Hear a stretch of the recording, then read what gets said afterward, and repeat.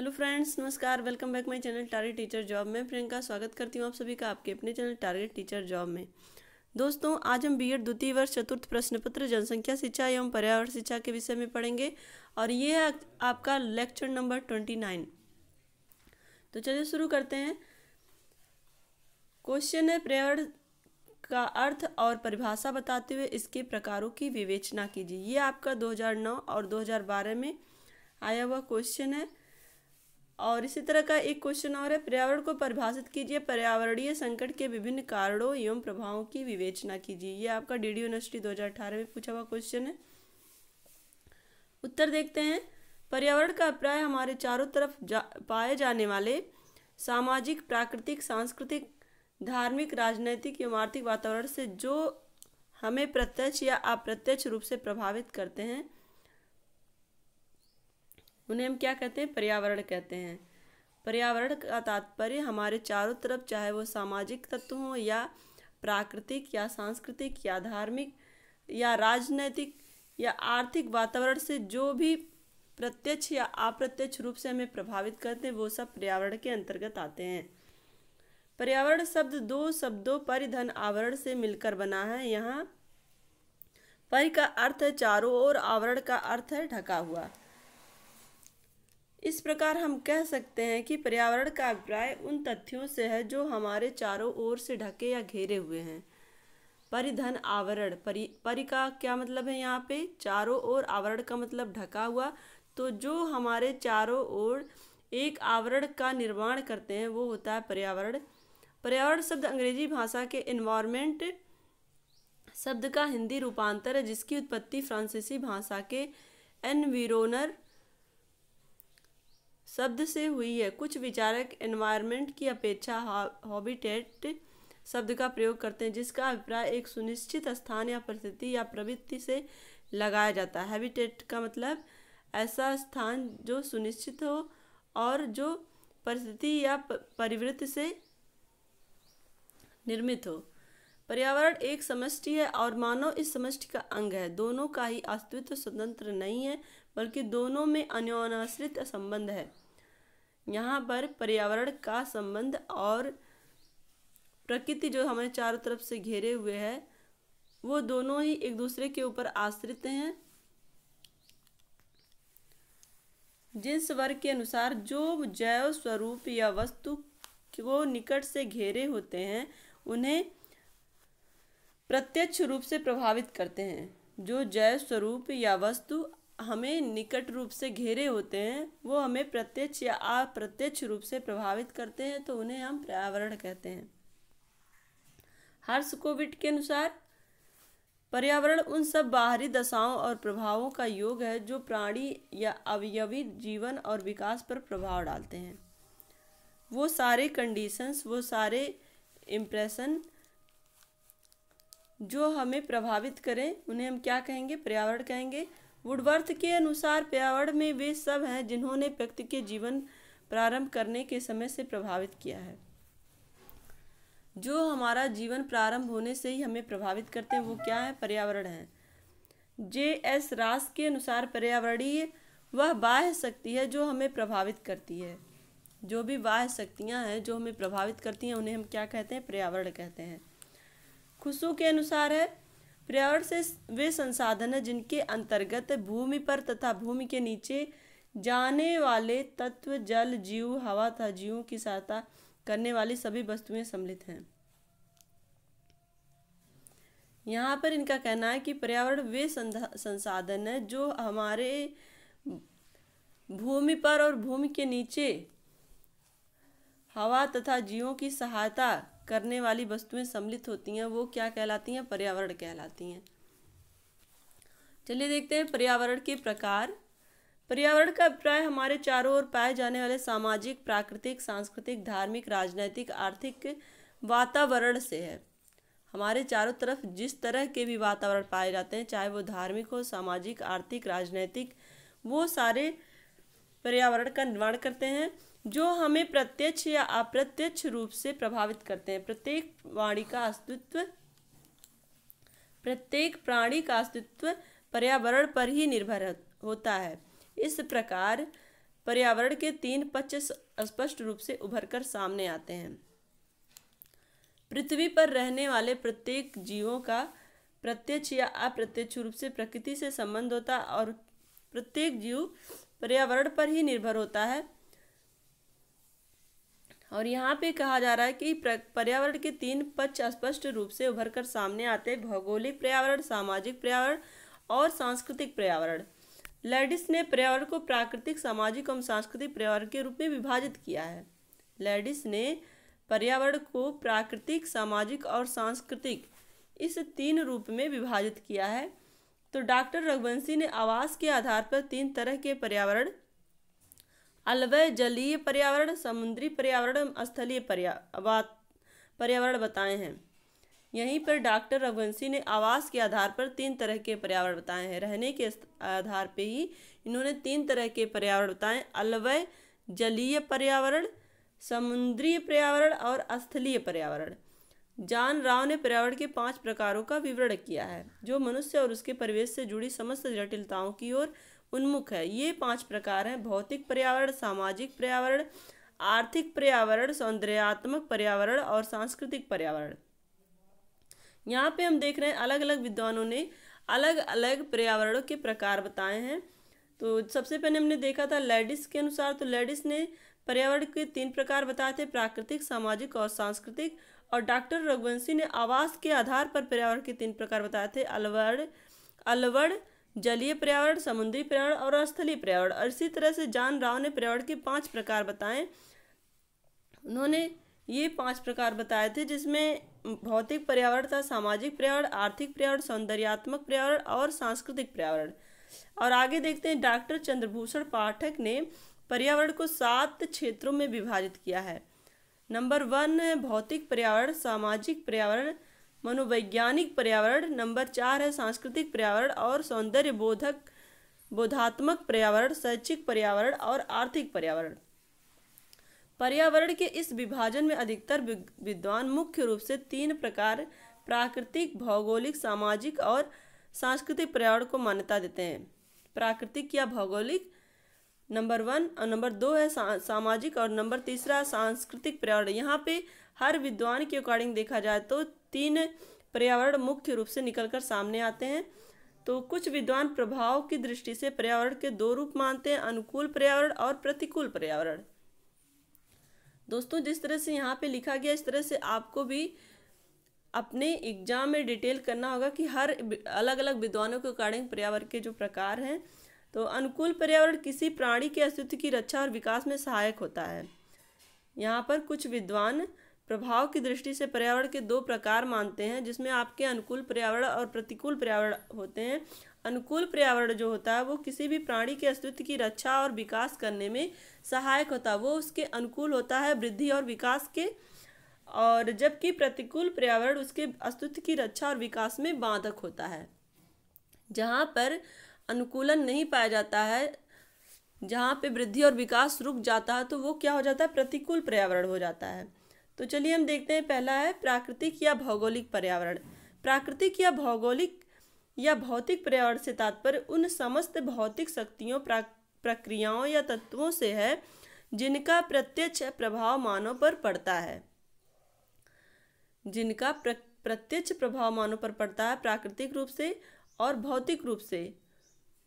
दूसरे शब्दों में प्राकृतिक पर्यावरण का तात्पर्य उन सभी प्राकृतिक दशाओं और घटनाओं से है जो मानव द्वारा उत्पन्न नहीं है, जिसका मानव के ऊपर कोई कं, जो मानव के द्वारा कंट्रोलित नहीं है, कंट्रोल नहीं किया जा सकता है,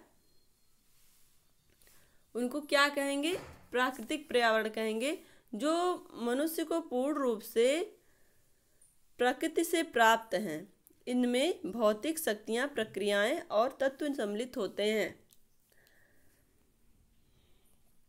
अब देखते हैं भौतिक शक्तियाँ क्या हैं।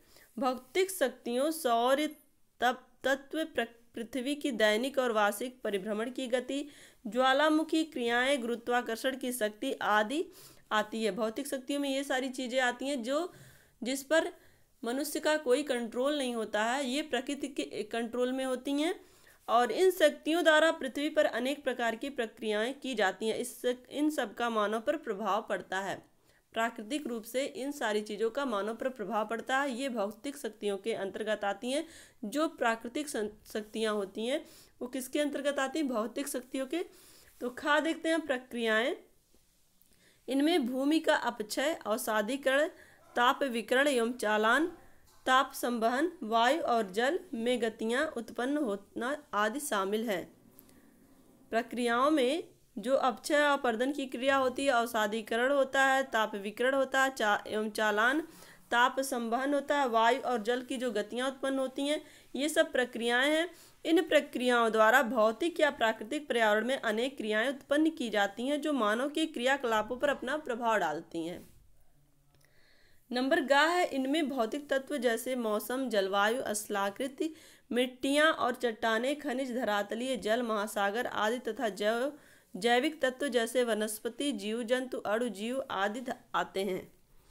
तत्व में क्या क्या आते हैं? मौसम आता है, जलवायु आती है, स्थलाकृति, मिट्टियाँ आती हैं, चट्टाने आती हैं, खन खनिज आते हैं, धरातलीय जल, महासागर, ये सब क्या है? तत्व हैं।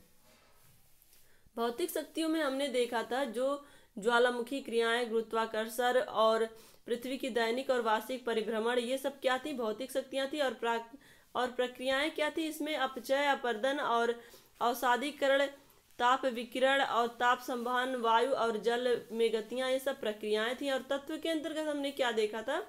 जिसमें मौसम, जलवायु, स्थलाकृति, मिट्टियाँ और चट्टाने, खनिज, धरातलीय जल, महासागर आदि जैविक तत्व, वनस्पति जीव, जंतु, अणु जीव और इसके अलावा मौसम, जलवायु, ये सारे संबंधित हैं। तो ये सब तत्व के अंतर्गत आते तो ये सब हम देख रहे थे किसके अंतर्गत? ये हम देख रहे थे आपके प्राकृतिक या भौगोलिक पर्यावरण जो हमें चारों तरफ़ से घिरे हुए हैं, ये हम इनके अंतर्गत देख रहे थे। उपयुक्त सभी मिलकर यहाँ पर जो प्राकृतिक पर्यावरण के अंतर्गत आते हैं, ये सभी मिलकर हमें प्राकृतिक या भौतिक परिवेश का निर्माण करते हैं। ये सभी मनुष्य के जीवन को प्रभावित भी करते हैं। इन्हें ही प्राकृतिक या भौतिक पर्यावरण कहा जाता है। इन सबका अस्तित्व मनुष्य के कार्यों से स्वतंत्र है। इनका जो अपना अस्तित्व है, इस पर मनुष्य का कोई भी अधिकार नहीं है। ये प्रकृति के अधिकार में है। इनका सृजन न तो व्यक्ति द्वारा किया जाता है और न ही नियंत्रित किया जाता है। ये सब प्रकृति की देन है।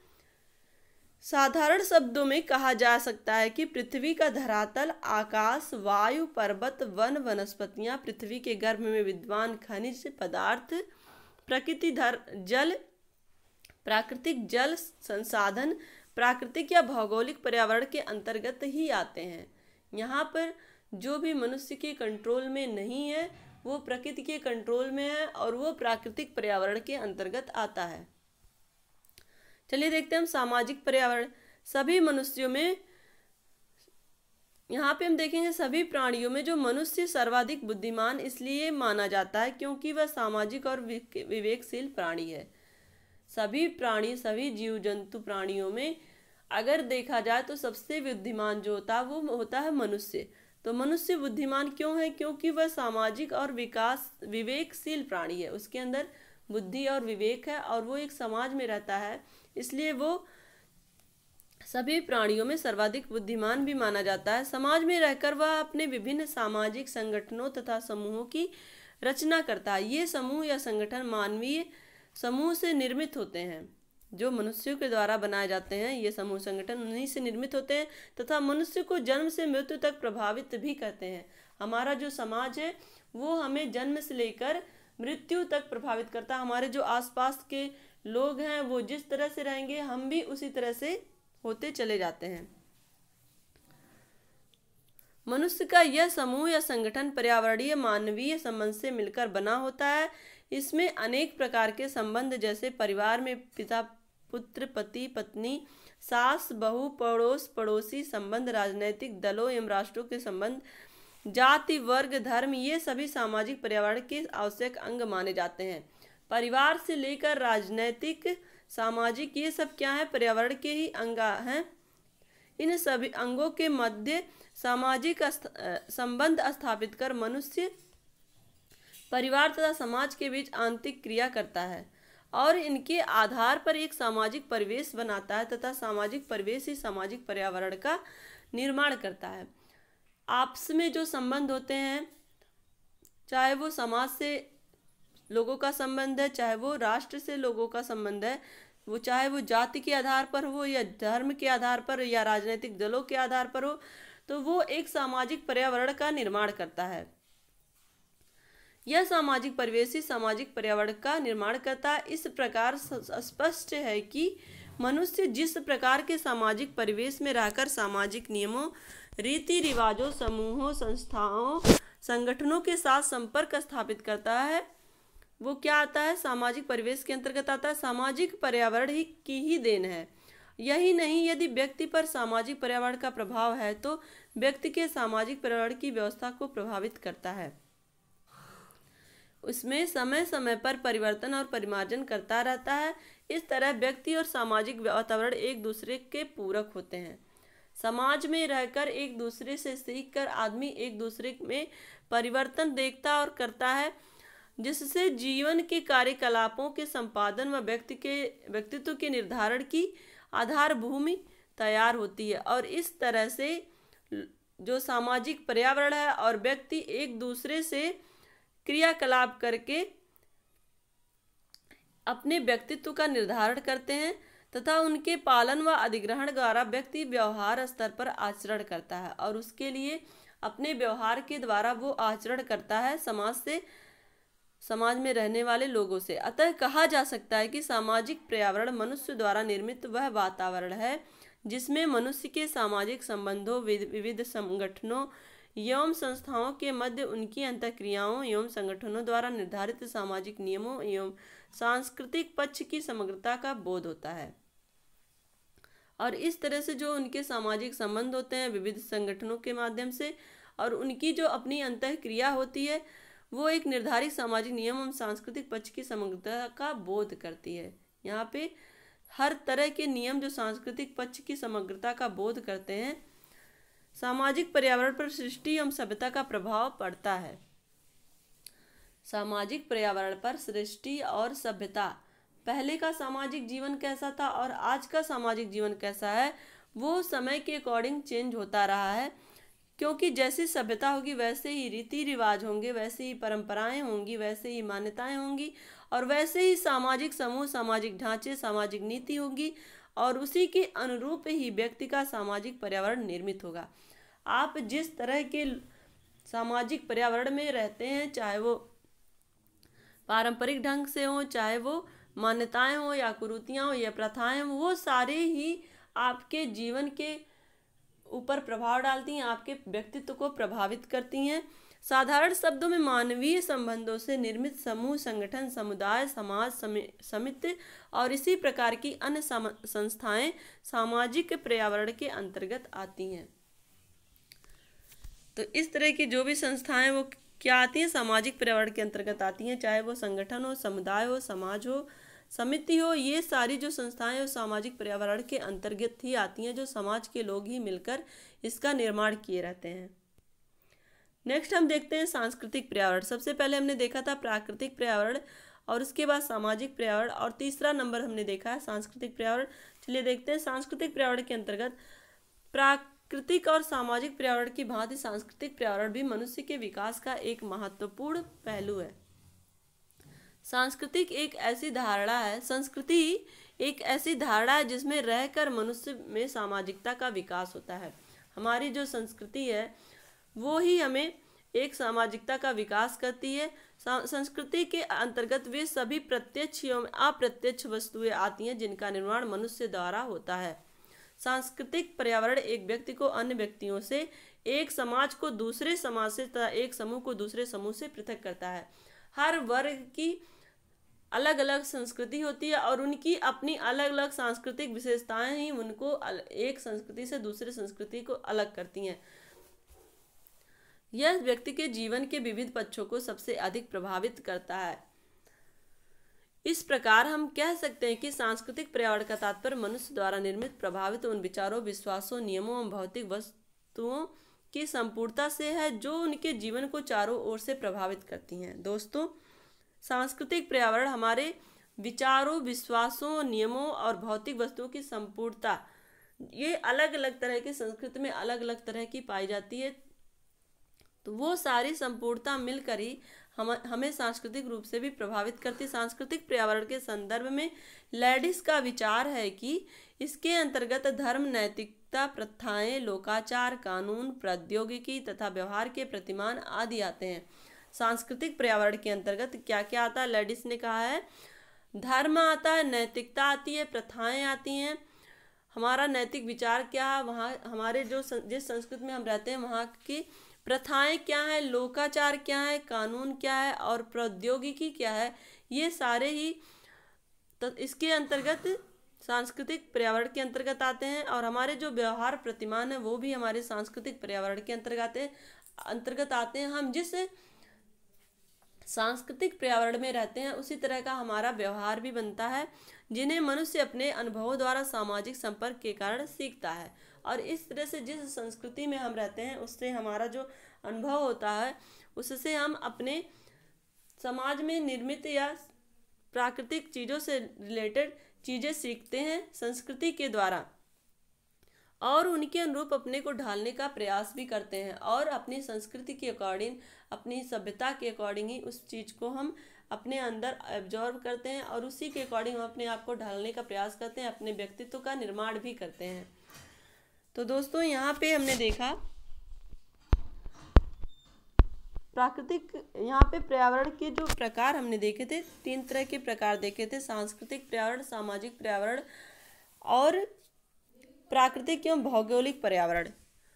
तो इन तीनों को हमने डिटेल से जाना।